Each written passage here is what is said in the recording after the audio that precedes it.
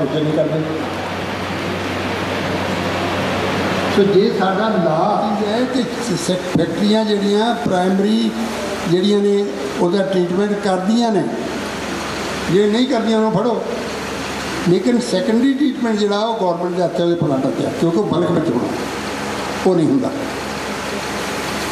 Sewage ਜਿਹੜੀ ਹੈ ਸਾਰੀ ਅਨਟ੍ਰੀਟਡ ਜਾਂਦੀ ਹੈ। ਉਸ ਵੇਲੇ ਅਗਰ ਤੁਸੀਂ ਦੇਖੋ ਕਿ ਕਿਉਂ ਸਾਫ਼ ਸੀ ਇਹ ਨਦੀਆਂ ਉਸ ਵੇਲੇ ਸੀਵੇਜ ਹੈ ਹੀ ਨਹੀਂ ਸੀ। ਔਰ ਕੁਝ ਸਾਨੂੰ ਸਮਝ ਨਹੀਂ ਸੀ। ਜਿੱਦਾਂ ਲੁਧਿਆਣੇ ਦਾ ਦੰਬੁਰੀਆ ਪੁਲ ਨੇ, ਇਹਦੇ ਕੋਲ ਦੀ ਗੰਦਾ ਨਾਲਾ ਵਗਦਾ ਹੁੰਦਾ ਸੀ ਉੱਥੇ ਭਗਵਾਨ ਦਾ ਚੌਧਰੀ ਦਾ ਨਾਲ ਉਹਦੇ ਫਾਰਮ ਹੁੰਦਾ ਹੀ ਵੈਜੀਟੇਬਲ ਦਾ।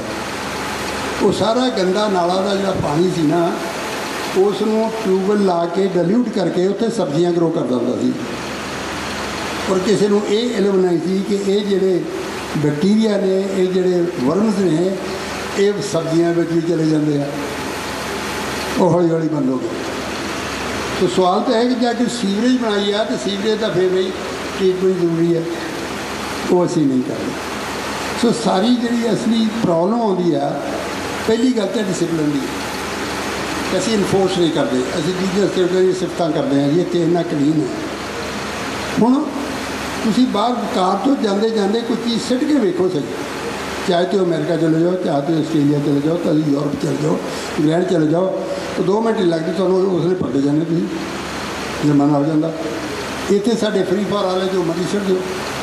ਦਰਿਆ ਅਸੀਂ ਕਹਿੰਦੇ ਕਰੀ ਜਾਂਦੇ ਆ ਸਭ ਤੋਂ ਵੱਡੀ ਚੀਜ਼ ਤਾਂ ਕਿ ਤੁਹਾਡਾ ਕਾਨੂੰਨ ਦੀ ਲਾਗਤ ਜਿਹੜੀ ਆ, ਕਿ ਉਹ ਲਾਗੂ ਕਰਨਾ ਬਹੁਤ ਜ਼ਰੂਰੀ ਹੈ ਕਿ ਜਿਹੜੇ ਪੋਲਿਊਟਰਸ ਨੇ, ਚਾਹੇ ਉਹ ਇੰਸਟੀਟਿਊਸ਼ਨ ਨੇ, ਚਾਹੇ ਉਹ ਹਸਪੀਟਲ ਨੇ, ਚਾਹੇ ਉਹ ਫੈਕਟਰੀ ਹੈ, ਚਾਹੇ ਉਹ ਇੰਡੀਵਿਜੂਅਲ ਹੈ, ਅਗਰ ਤੁਸੀਂ ਉਹਨਾਂ ਤੇ ਕੰਟਰੋਲ ਨਹੀਂ ਕਰਾਂਗੇ ਤੇ ਕਦੇ ਵੀ ਇਹ ਸਾਫ਼ ਨਹੀਂ ਹੋਣਾ। ਤੁਸੀਂ ਸਾਫ਼ ਕਰੀ ਜਾਓ, ਤੁਹਾਨੂੰ ਪ੍ਰੂਫ ਕਰੀ ਜਾਣਗੇ। ਇਹ ਛੋਟੀਆਂ ਛੋਟੀਆਂ ਗੱਲਾਂ ਨੇ ਕੋਈ ਬਹੁਤੀ ਵੱਡੀ ਗੱਲ ਨਹੀਂ ਹੈ, ਜੇ ਕਿ ਹੋ ਨਹੀਂ ਸਕਦਾ। ਹੁਣ ਮੈਂ ਦੇਖਦਾ ਕਿ ਸ਼ਬੀਲਾ ਲਾਉਣੇ ਅਸੀਂ। ਮੈਨੂੰ ਬਸ ਉਹਨਾਂ ਜਿਹੜੇ ਜਿਹੜੇ ਨਾ ਆਪਣਾ ਹੁਸ਼ਿਆਰਪੁਰ ਤੋਂ ਕੇ ਚਿੰਤਪੁਰੀ ਤੱਕ ਜਿਹੜੇ ਲੱਗੇ ਹੋਏ ਦੁਕਾਨਦਾਰ ਆਪਣੇ ਢਾਬੇ ਲੱਗੇ ਹੋਏ ਆ। ਉਹਨਾਂ ਦੀ ਬਦਕਿਸਮਤੀ ਇਹ ਆ ਕਿ ਉਂਝ ਲੋਕ ਖਾਂਦੇ ਨਹੀਂ ਉੱਥੇ। ਇਹ ਦੇਖੋ 90% 95% ਤਾਂ ਬਿਲਕੁਲ ਖਾਲੀ ਪੈ ਤੇ ਕੋਈ ਗਾਹਕ ਕੋਈ ਨਹੀਂ ਉਹਦੇ ਬੈਠਾ। ਤੇ ਜਦ ਉਹਨਾਂ ਹੁੰਦਾ ਕੋਈ ਆਪਣਾ ਤਿਉਹਾਰ, ਉਦੋਂ ਉੱਥੇ ਲੰਗਰ ਲੱਗ ਜਾਂਦੇ ਆ, ਉਹ ਫੇਰ ਮਾਰੇ ਜਾਂਦੇ ਆ। ਉਹ ਲੰਗਰ ਲਾ ਕੇ ਲੋਕ ਗੱਲ ਪਾ ਜਾਂਦੇ ਸਾਰੇ। ਕਹਿੰਦੇ ਜਿਹੜਾ ਸਿਸਟਮ ਹੈ, ਉਹ ਸਿਸਟਮ ਨੂੰ ਅਸੀਂ ਕੰਟਰੋਲ ਨਹੀਂ ਕਰਦੇ। ਇਹ ਸਾਡੀ ਸਭ ਤੋਂ ਵੱਡੀ ਪ੍ਰੋਬਲਮ ਹੈ। ਦੂਜੀ ਹੈ ਕਿ ਸਾਨੂੰ ਫੈਮਿਲੀ ਦੇ ਵਿੱਚ ਟ੍ਰੇਨਿੰਗ ਨਹੀਂ ਹੈ, ਬੱਚਿਆਂ ਨੂੰ ਸਫ਼ਾਈ ਕਰਨ ਦੀ। ਘਰ ਦੇ ਵਿੱਚ ਕੋਈ ਚੀਜ਼ ਹੈ ਜਿੱਦ ਨੂੰ ਮਰਜ਼ੀ ਛੱਡ ਦਿਓ।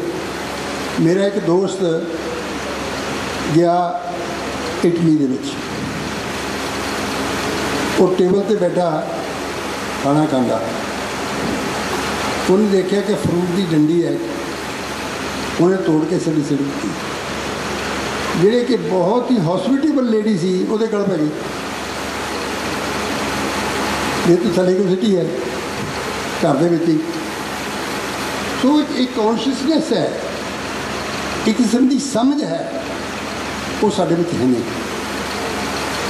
ਮਾਫ ਕਰਨਾ, ਮੈਂ ਤੁਹਾਨੂੰ ਆਪਣੇ ਦਿਲੋਂ ਇੱਕ ਸਟੇਟਮੈਂਟ ਦੇਣ ਲੱਗਾ। ਉਹਦਾ ਗੁੱਸਾ ਨਾ ਕਰਿਓ। ਮੈਂ ਤਕਰੀਬਨ 40 ਮੁਲਕਾਂ ਦੇ ਵਿੱਚ ਡਿਊਟੀ ਤੇ ਔਰ ਬਗੈਰ ਡਿਊਟੀ ਤੋਂ ਗਿਆ। ਯੂਨਾਈਟਿਡ ਨੇਸ਼ਨ ਦੇ ਵਿੱਚ ਵਰਲਡ ਬੈਂਕ ਦੇ ਵਿੱਚ, ਸਾਰੇ ਕਰਕੇ। ਔਰ ਮੈਨੂੰ ਕਿਤੇ ਵੀ ਉਹ ਨੇਸ਼ਨ ਨਹੀਂ ਮਿਲੀ ਜਿਹੜੀ ਇਸ ਤੋਂ ਘੱਟ ਇਨਡਿਸਪਲਿਨ ਔਰ ਗੈਰ ਜ਼ਿੰਮੇਵਾਰੀ ਹੋਵੇ। ਅਸੀਂ ਸਭ ਤੋਂ ਜ਼ਿਆਦਾ ਡਿਸਪਲਿਨ ਲੈ ਕਰਦੇ ਹਾਂ ਔਰ ਇਰਰਿਸਪੌਂਸਿਬਲ ਜੇ ਕਿਸੇ ਸੁਸਾਇਟੀ ਦੀ ਡਿਸਪਲਿਨ ਔਰ ਉਹਦੀ ਮਾਨਸਿਕਤਾ ਨੂੰ ਦੇਖਣਾ ਹੋਵੇ ਤਾਂ ਉਹਦੀ ਟ੍ਰੈਫਿਕ ਨੂੰ ਦੇਖੋ। ਫਾਟਕ ਬੰਦ ਹੁੰਦਾ, ਕੀ ਹੁੰਦਾ ਉੱਥੇ? ਲੋਕ ਕਿਵੇਂ ਕਾਰਾਂ ਚਲਾਉਂਦੇ ਨੇ?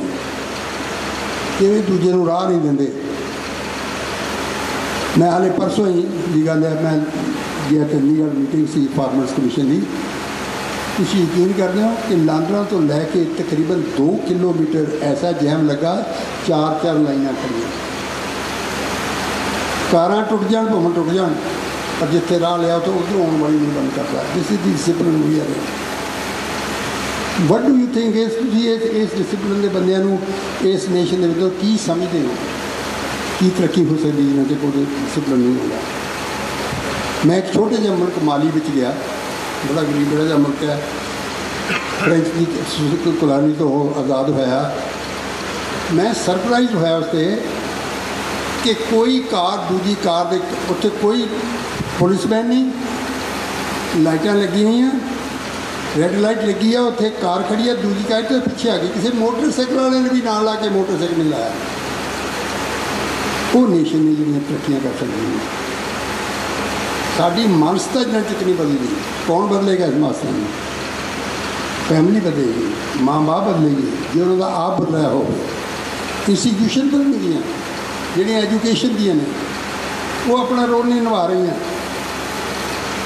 ਜੋ ਅੱਜ ਅਗਰ ਮੈਂ ਅਗਰ ਕਿਸੇ ਨੂੰ ਜ਼ਿੰਮੇਵਾਰ, ਅੱਜ ਦੀ ਕਰਪਸ਼ਨ ਅੱਜ ਦੀ ਪ੍ਰਦੂਸ਼ਣ ਅੱਜ ਦਾ ਜੋ ਨੈਗੇਟਿਵਿਟੀ ਹੈ ਇੱਥੇ ਸਾਰੀ, ਉਹਨਾਂ ਅਗਰ ਜ਼ਿੰਮੇਵਾਰ ਸੁਣਾਉਣਾ ਤਾਂ ਐਜੂਕੇਸ਼ਨ ਸਿਸਟਮ ਸੋਵਾਂਗਾ ਟੀਚਰ ਸੇ ਜ਼ਿੰਮੇਵਾਰੀ ਪਾਵਾਂਗਾ, ਮੈਂ ਵੀ ਜ਼ਿੰਮੇਵਾਰ ਟੀਚਰ ਉਸ ਤੋਂ ਅਸੀਂ ਕਿਤੇ ਸੇਜ ਉੱਤੇ ਸਿਵਿਕ ਸੈਕਸ਼ਨ ਸਿਖਾਈ ਨਹੀਂ ਬੱਚਿਆਂ ਨੂੰ।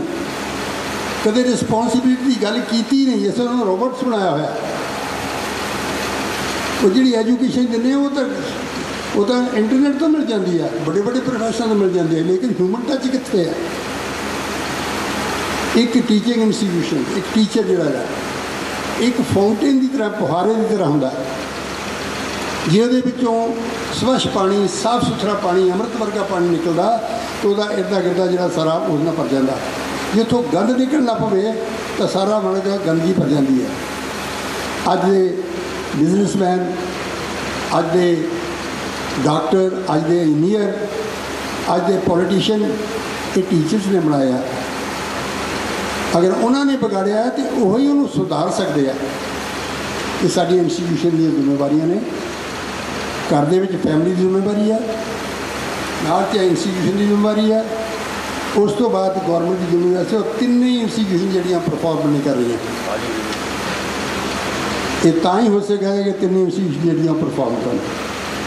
ਸੋ ਮੈਨੂੰ ਬੜੀ ਖੁਸ਼ੀ ਹੈ ਕਿ ਤੁਸੀਂ ਇਹ ਪ੍ਰੋਗਰਾਮ ਰੱਖਿਆ। ਮੈਂ ਅਪੀਲ ਕਰਾਂਗਾ ਤੁਹਾਨੂੰ ਸਾਰਿਆਂ ਨੂੰ ਕਿ ਤੁਸੀਂ ਇੱਥੇ ਹੀ ਬੈਠੇ ਹੋ ਇਹ ਸ਼ਹਿਰ ਨੂੰ ਸਵੱਛ ਕਰਨਾ, ਜਿੱਥੇ ਮਾੜੀ ਮੋਟੀ ਚੀਜ਼ ਗਲਤ ਗਲਤ ਪਈ ਆ, ਆਪ ਚੱਕ ਲਓ। ਮੈਂ ਰਿਪੀਟ ਕਰ ਰਿਹਾ ਉਸ ਚੀਜ਼ ਨੂੰ। ਆਪ ਚੱਕ ਕੇ ਉਹਨੂੰ ਕਿਸੇ ਟਿਕਾਣੇ ਲਾ ਦਿਓ ਔਰ ਪ੍ਰੈਫਰੇਬਲੀ ਉਸ ਬੰਦੇ ਦੇ ਸਾਹਮਣੇ ਚੁੱਕੋ ਜਿਹੜਾ ਗਾਂ ਪਾਉਂਦਾ ਇਸ ਵਾਰ ਸਾਫ਼ ਸੁਥਰਾ ਹੋਣਾ ਸ਼ੁਰੂ ਹੋ ਜਾਏਗਾ। ਸੋ ਇਹਨਾਂ ਲਫ਼ਜ਼ਾਂ ਨਾਲ ਟਾਈਮ ਥੋੜਾ ਹੋਣ ਕਰਕੇ ਮੈਂ ਵੀ ਬੁਰਾ ਆਦਮੀ ਬਹੁਤਾ ਬੋਲ ਨਹੀਂ ਸਕਦਾ ਤੇ ਬਹੁਤ ਬਹੁਤ ਧੰਨਵਾਦ। ਪਰਮਾਤਮਾ ਤੁਹਾਨੂੰ ਚੜ੍ਹਦੀ ਕਲਾ ਦੇ